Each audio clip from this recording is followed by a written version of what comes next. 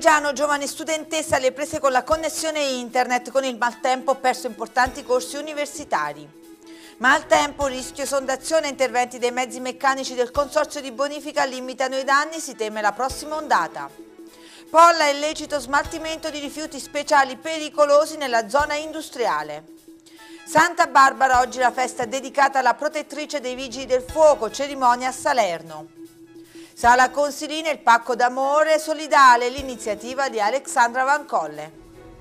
Buonasera e bentrovati con il nostro consueto appuntamento con l'informazione di Uno News. Apriamo occupandoci di scuola ma soprattutto di didattica a distanza con le eh, difficoltà che vivono ogni giorno gli studenti eh, valdianesi. Un anno difficile per i giovani impegnati eh, con la didattica a distanza soprattutto eh, per, queste, per le aree marginali come può essere il Vallo di Diano dove in molti comuni tutto tuttora è difficile poter avere accesso alla connessione ultraveloce. Ciò preclude anche uno dei diritti fondamentali dei giovani, ossia il diritto allo studio e ad una adeguata e pari formazione. Una giovane studentessa di Teggiano, Roberta Benvenga, racconta la sua esperienza che l'ha vista impegnata con la didattica a distanza prima nell'ultimo anno delle scuole eh, superiori e ora anche in questo primo anno di eh, scuola eh, di università. Il maltempo, racconta la giovane, mi ha impedito di seguire corsi fondamentali per il mio percorso universitario. Vediamo. Connessioni efficienti al tempo del Covid rappresentano anche gli unici mezzi per poter assolvere i propri doveri lavorativi o di studio oppure per poter restare a passo con il mondo che in altre parti va avanti veloce. Se le connessioni internet non sono veloci ed efficienti, resti indietro. Quanto accade a Roberta Benvenga, giovane studentessa di Teggiano, mette in chiara luce problemi con cui quotidianamente devono fare i conti i ragazzi che nel XXI secolo cercano di costruirsi il futuro attraverso lo studio e la formazione. In una lunga lettera la giovane Roberta racconta come, a seguito del maltempo di questi giorni, si è ritrovata priva della connessione ad internet necessaria per poter seguire i corsi universitari da casa vita, ricordando come l'ultimo anno è stato caratterizzato da un radicale cambiamento delle abitudini di vita quotidiana e da nuove metodologie di studio e di lavoro, sottolinea come anche nel centro storico di Teggiano tutti hanno cercato di adeguarsi alle nuove regole, ma ciò non sempre è stato possibile anche perché nel centro storico di Teggiano, come in altri comuni del Vallo di Diano, per quanto si parli di arrivo della fibra, ad oggi pare non è ancora possibile accedere al servizio. Io ho iniziato l'università ad ottobre, questo ottobre, ma eh, posso parlare di didattica a distanza in quanto anche l'anno scorso ho seguito molte lezioni a distanza. La situazione non è delle migliori, soprattutto per noi che viviamo in questi piccoli paesi in cui la connessione non è delle migliori e ci troviamo molto in difficoltà a seguire le lezioni, a dare esami, o anche a uh, fare dei test in quanto vengono uh, di tanto in tanto all'università vengono somministrati dei test per valutare lo studio che uno studente fa. Io frequento una facoltà linguistica e ho perso una lezione, cioè delle lezioni di inglese che sono obbligatorie perché se non frequento un tot di lezioni non posso essere ammessa all'esame. Quindi insomma si, si preclude anche il tuo percorso di studio universitario in questo modo. Se la DAD va avanti così sì. Ho, ho scritto questo mio pensiero uh, di denuncia uh, soprattutto perché ho la speranza che qualcuno faccia qualcosa perché um, io parlo dal mio punto di vista però se nessuno fa nulla e ci aiuta um, cosa possiamo fare noi? Uh, diventa uh, complicato uh, se non abbiamo qualcuno che ci sostiene, ma non perché ci mancano le idee o ci manca la voglia di farlo. Non tutti possono adeguarsi ai processi di evoluzione tecnologica, soprattutto perché sono ancora troppo evidenti e marcate le differenze tra territori, in particolare quando si parla di connessione alla rete. Quando queste differenze vengono a galla durante le attività didattiche, emerge anche una chiara difficoltà a vedersi riconosciuto uno dei diritti fondamentali della persona e dei giovani, il diritto allo studio. E restiamo in tema scuola e diritto allo studio perché è intervenuta anche l'Unione degli studenti del Vallo di Diano che chiede l'approvazione a livello locale e anche nazionale di una carta dei diritti affermando che la scuola e il, e il diritto allo studio restano una priorità anche in didattica a distanza. Vediamo. Una carta dei diritti per garantire agli studenti e alle studentesse che vengano rispettate le proprie necessità anche in didattica a distanza. L'Unione degli studenti del Vallo di Diano ne chiede l'approvazione a livello nazionale da parte del Ministero e a livello locale da parte degli uffici scolastici regionali, dirigenze e consigli di istituto perché, affermano con forza, anche in DAD pretendiamo il rispetto dei nostri diritti. Gli studenti valdianesi chiedono che al rientro in aula vengano garantiti la sicurezza strutturale di tutti gli edifici scolastici e un finanziamento complessivo per la risoluzione dei problemi legati all'istruzione e alla sua accessibilità da parte di tutti. Otto i punti affrontati dalla carta proposta, dal diritto allo studio all'alternanza passando per l'organizzazione della didattica, il tema degli studenti lavoratori, la partecipazione studentesca fino alla valutazione, salute e benessere. Affermando di voler assumere un ruolo centrale nelle scuole facendo sentire la propria voce, gli studenti valdianesi inglesi ricordano che molte sono state le battaglie a cui hanno preso parte, dando vita sul Vallo di Diano ad una forte e importante rete di comunicazione e scambio di idee. Sono ormai mesi che gli studenti e le studentesse italiane stanno affrontando il loro percorso scolastico a distanza. La DAD affermano ci ha permesso di continuare ad accedere all'istruzione nonostante l'epidemia, ma sono numerosi i problemi che i soggetti in formazione del Vallo di Diano hanno affrontato e stanno affrontando. La DAD continuano ha messo in evidenza anche grandi differenze sociali che per molto tempo hanno impedito ai ragazzi e alle ragazze di accedere tranquillamente alla didattica a distanza, problema a cui molte scuole del Vallo hanno sopperito garantendo device e connessione per non far rimanere indietro nessuno. Il nostro obiettivo, concludono, si focalizza sempre sulla priorità alla scuola e sul diritto allo studio.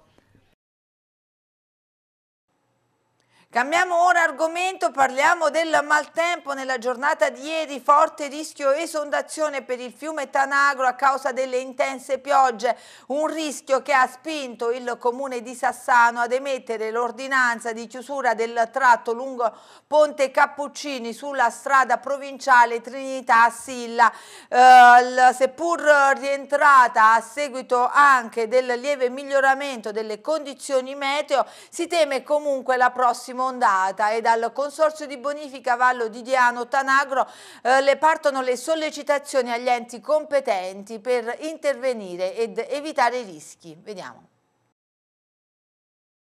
Si è temuto il peggio ieri a causa delle intense piogge che si sono abbattute su tutto il territorio della regione Campania, coinvolgendo anche l'area del Vallo di Diano.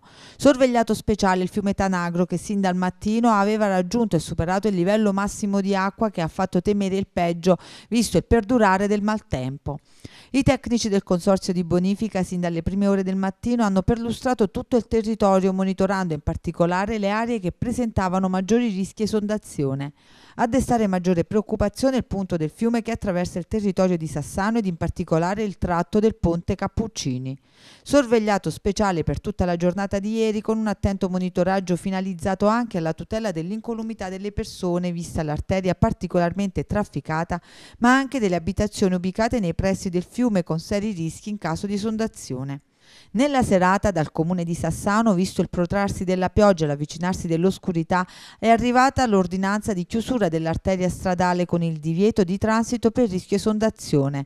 Nell'ordinanza è stato specificato come la competenza sul tratto del fiume riservata al genio civile e alla regione Campania e che l'alveo risulta essere pieno di detriti e sabbia che hanno provocato anche l'innalzamento del livello dell'acqua a segnalare la chiusura apposita segnaletica con la presenza del personale dell'Associazione di Volontariato L'Orchidea Emergenza, che è rimasta sul posto anche per assistere i tecnici del Consorzio di Bonifica che hanno effettuato piccoli interventi di urgenza utili a ridurre i rischi in fase emergenziale.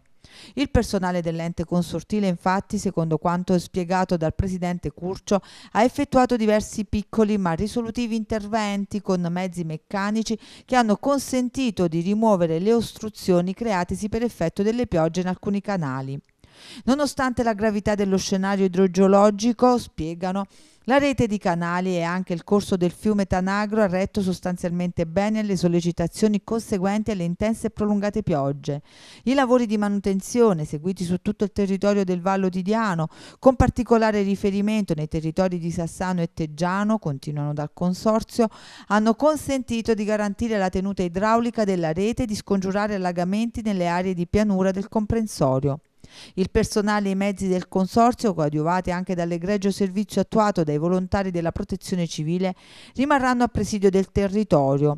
Consapevoli del giustificato allarme della popolazione locale, spiegano che teme il peggio per effetto di questi eventi alluvionali eccezionali, stiamo lavorando su un'ampia progettazione finalizzata a rimuovere strutturalmente situazioni di criticità idraulica, in gran parte addebitabili a decenni di assoluto abbandono.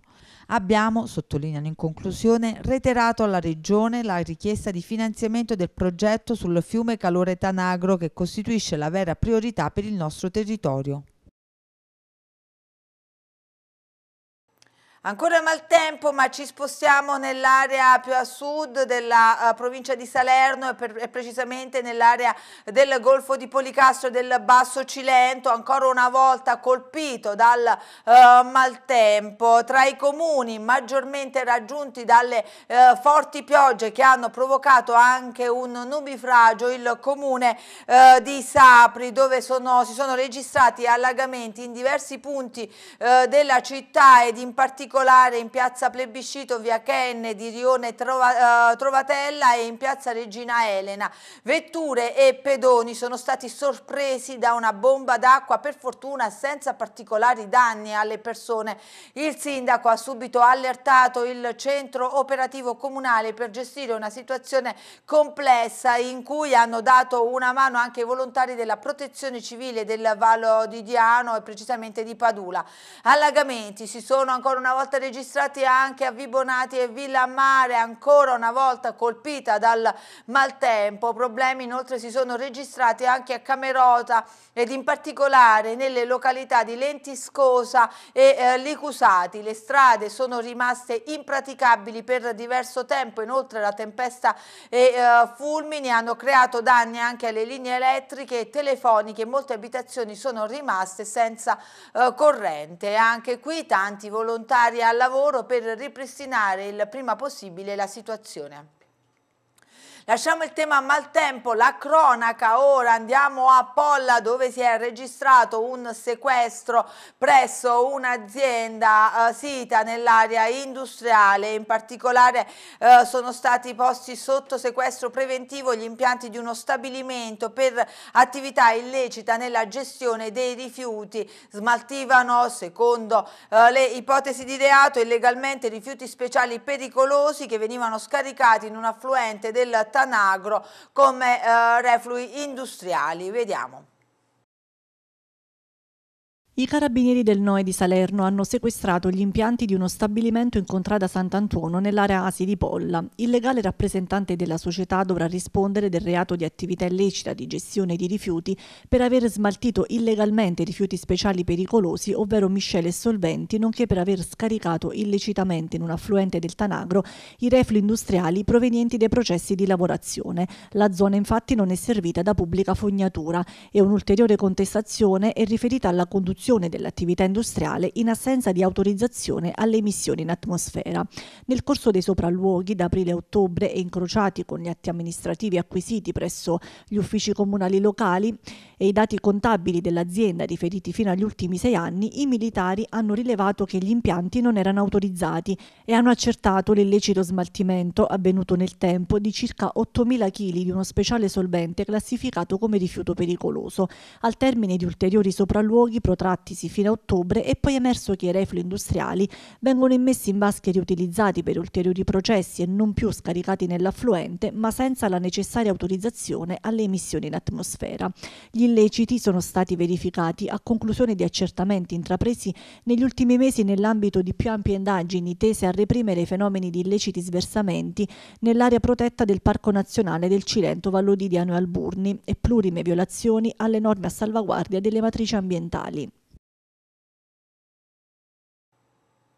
Torniamo a Sassano, partono i lavori per la riqualificazione delle aree degradate del comune. Dall'amministrazione comunale l'annuncio dell'avvio dei lavori di recupero della zona dell'ex depuratore comunale in via Limiti. L'idea è quella di realizzare un percorso fitness e sportivo a cui potranno avere accesso tutti, bambini, adulti ed anziani. Al momento i primi lavori sono già iniziati e riguardano essenzialmente le azioni di svuotamento delle vasche e della loro bonifica. Per l'amministrazione comunale Rubino il recupero delle aree dismesse rappresenta un'opportunità nuova in grado di accelerare la trasformazione del tessuto sociale.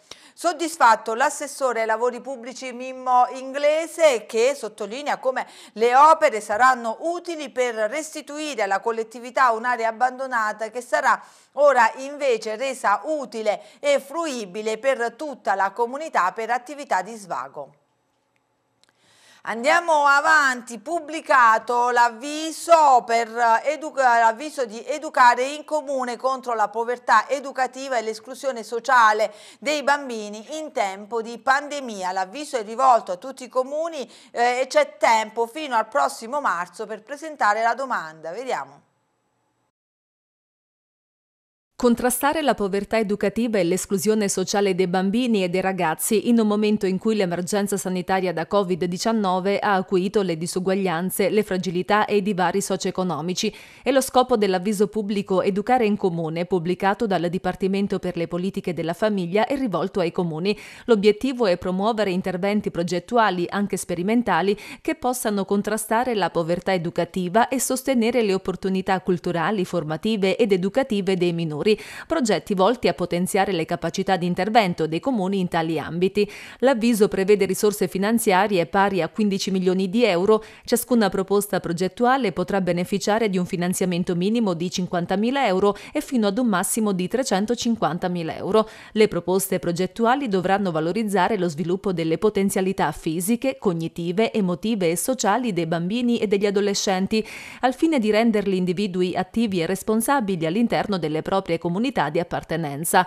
Inoltre i progetti dovranno essere in linea con gli obiettivi del programma pilota contro la povertà Child Guarantee e dovranno essere volti a contrastare gli effetti negativi prodotti dalla pandemia sui bambini e ragazzi, tenendo conto degli aspetti relativi al genere, all'età e alle provenienze culturali. I comuni potranno partecipare all'avviso singolarmente o in forma associata. C'è tempo fino al primo marzo prossimo per presentare domanda.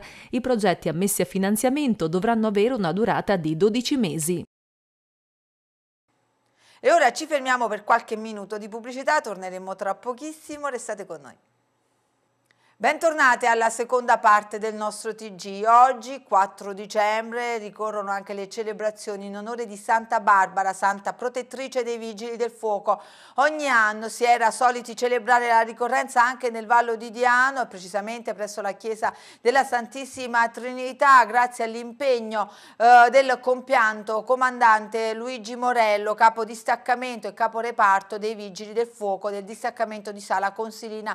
Quest'anno non è possibile possibile a causa dell'emergenza Covid, eh, ma uh, nella serata uh, si è comunque svolta una santa messa in onore di Santa Barbara presso la chiesa della Santissima uh, Trinità di Sala Consilina, mentre questa mattina a Salerno il comandante provinciale dei Vigili del Fuoco ha celebrato la festività e tracciato anche un bilancio di questo anno di attività dei Vigili del Fuoco che sta per concludersi. Vediamo. Oggi ricorre la festività di Santa Barbara, santa patrona dei Vigili del Fuoco. Nel Vallo di Diano, negli ultimi anni, la festività di Santa Barbara aveva acquisito un'importanza speciale, diventando appuntamento di fede atteso dalle comunità, in particolare grazie all'impegno di Luigi Morello nella sua veste di capo distaccamento dei Vigili del Fuoco di Sala Consilina, che ogni anno era solito organizzare le celebrazioni religiose in onore della Santa Protettrice davanti alla Sacra Efficie custodita presso la chiesa della Santa Santissima Trinità Sala Consilina, dove è anche presente una reliquia della martire. Un appuntamento a cui Luigi Morello, deceduto lo scorso marzo a causa del Covid, teneva fortemente, ma che purtroppo non potrà svolgersi visto il diffondersi dell'emergenza epidemiologica tuttora in atto. Presso la chiesa della Santissima Trinità, però, don Gabriele Petrocelli, seppur con le dovute misure di sicurezza e rispetto delle normative, prosegue nella tradizione e per evitare assembramenti ha deciso di programmare due messe in onore di Santa Barbara. Oltre all'appuntamento di questa mattina, nella serata alle 19 una Santa Messa celebrerà la ricorrenza dedicata alla Santa Patrona dei Vigili del Fuoco e dei Fuochisti, oltre che protettrice contro i temporali e fulmini. Intanto i caschi rossi questa mattina presso il comando provinciale hanno celebrato la Santa Patrona e in tale occasione la comandante ingegnere Rosa Deliseo ha tracciato un bilancio di questo anno 2020 legato alle attività dei vigili del fuoco su tutto il territorio provinciale. Come è passato quest'anno? È stato un anno tremendo, devo essere sincera. Già oggi per esempio ovviamente faremo un festeggiamento sottotono perché la, le regole ovviamente del distanziamento, del non assembramento ci impongono ovviamente il rispetto e quindi però comunque è un momento in cui dobbiamo festeggiare, dobbiamo darci assolutamente coraggio e forza per andare avanti e affrontare nel miglior modo possibile il nostro lavoro. Questa volta dobbiamo difenderci non tanto dal pericolo esterno che siamo abituati ad affrontare, ma dal pericolo interno del contagio. Abbiamo lavorato lo stesso anche quest'anno, rispetto all'anno scorso abbiamo fatto poco meno di 500-600 interventi. Sono interventi ovviamente per lo più caratterizzati da emergenze temporali, nel senso che il classico incendio capannone, incidenti stradali, non ce ne sono stati tanti quest'anno, ovviamente legati all'attività anche di chiusura purtroppo di talune attività e quindi di lockdown, ma gli interventi sono stati lo stesso tanti per colpa del maltempo, del vento che quest'anno ha sferzato tantissime volte la provincia di Salerno. Oggi festeggiamo Santa Barbara con l'augurio a tutti i miei vigili del fuoco di farsi coraggio e di affrontare sempre nella maniera più corretta e più giusta il loro lavoro a tutela delle persone. Il Centro Benessere per Te lancia una simpatica iniziativa solidale, il, pa il Pacco d'Amore Solidale, un dolce pensiero di questo Natale segnato dalla pandemia per far sentire la propria vicinanza alle persone meno fortunate. Il pacco dovrà contenere una cosa calda, una golosità, un prodotto di bellezza ed un biglietto gentile. Vediamo. Parte dal Centro Benessere per Te l'iniziativa Il Pacco d'Amore Solidale, un'idea semplice per stare il più vicino possibile ai meno fortunati e a chi sta vivendo in solitudine questo periodo difficile segnato dal Covid. Mandare un messaggio di gioia e speranza a coloro che vivono momenti di estrema difficoltà è questo lo spirito che ha spinto Alexandra Vancolle di Sala Consilina a fare qualcosa di concreto per i più bisognosi. L'iniziativa Pacco d'Amore ha lo scopo di rendere speciale il Natale di tutti attraverso un dono dono che sia utile e che scaldi il cuore di chi lo offre e di chi lo riceve. Alexandra, in passato risultata positiva al Covid, ha attraversato un periodo molto difficile, ma non si è mai scoraggiata, soprattutto perché non si è mai sentita sola. Durante il lungo periodo di isolamento, tra sconforto e paura, è riuscita, grazie all'inesauribile affetto ricevuto, a superare tutte le difficoltà che il Covid comporta. La forza dell'amore e l'affetto delle persone che hanno avuto un pensiero per me nei momenti di difficoltà, racconta Alexandra, non si possono descrivere con semplici parole, ragion per cui la mia attenzione va ai meno fortunati, bimbi, adulti, malati ed anziani soli. L'idea è quella di confezionare un pacco di Natale da regalare ai più bisognosi con all'interno un indumento caldo, una cosa golosa, un passatempo e un prodotto di bellezza. Il materiale nella scatola deve essere nuovo o comunque comunque pulito ed in ottimo stato. In ultimo, ma forse il più importante, è un biglietto gentile perché le parole valgono anche più degli oggetti e sarà la cosa che scalderà di più il cuore di chi aprirà la vostra scatola. Incartata e decorata va scritto in un angolo il destinatario del dono, donna, uomo, bambino e anziano, aggiungendo la fascia di età. Il gesto costa pochissimo, dicono gli organizzatori, il tempo dedicato non è niente, ma la resa e la felicità di chi riceverà in dono queste scatole scatole sarà immensa. Facciamo una cosa bella da ricordare in quest'anno 2020 catastrofico e aiutiamo chi ne ha più bisogno. La raccomandazione di Alexandra, preparare il pacco con il cuore, come se dovesse riceverlo una persona che ami. Chiunque voglia unirsi a questa iniziativa piena d'amore potrà consegnare il suo pacco entro il 19 dicembre presso i punti di raccolta a Sala Consilina, presso il Centro Benessere per Te, Parrocchia di Sant'Anna, Parrocchia di Sant'Antonio, mentre a Silla di Sassano presso la Parrocchia della Beata Vergine di Pompei. Il MIBACT ha pubblicato l'avviso Borghi in Festival per la rinascita dei piccoli comuni puntando a incentivare il turismo di prossimità quale opportunità per sostenere l'economia locale. È online l'avviso del MIBACT Borghin Festival per il finanziamento di attività culturali che migliorino la qualità della vita degli abitanti dei piccoli comuni italiani. Mette a disposizione 750.000 euro per sovvenzionare iniziative culturali da realizzare in realtà con popolazione residente fino a 5.000 abitanti o fino a 10.000 abitanti per gli enti che abbiano individuato il centro storico quale zona territoriale omogenea. L'emergenza coronavirus ha portato ad una rivalutazione del turismo di prossimità quale opportunità opportunità per sostenere l'economia locale e il bando Borghin Festival si inserisce in questo contesto, promuovere località ancora sconosciute come borghi, incentivando progetti di rigenerazione dei territori. I comuni che rispettano i criteri indicati possono partecipare singolarmente o in rete. Il finanziamento erogabile prevede un limite massimo di 75.000 euro per i comuni che partecipano singolarmente, 250.000 per quelli che partecipano in rete. La volontà espressa nel bando è di incentivare dinamiche collaborative, quindi progettualità basate su approcci integrati tra abitanti, istituzioni pubbliche, soggetti privati locali, enti no profit. Tra le attività finanziabili, incontri, seminari, laboratori, laboratori, attività di formazione con specialisti e professionisti, la realizzazione di piattaforme digitali, mostre, rassegne, eventi innovativi per la fruizione del patrimonio culturale. Gli enti che intendono partecipare hanno tempo per l'elaborazione dei progetti fino al prossimo 15 gennaio. La programmazione deve essere pensata nel rispetto della normativa vigente in materia di contenimento del contagio da Covid e i festival vincitori potranno essere realizzati da aprile a luglio. Ed era questo l'ultimo servizio di oggi, io vi ringrazio per averci seguito, vi auguro un buon proseguimento di serata.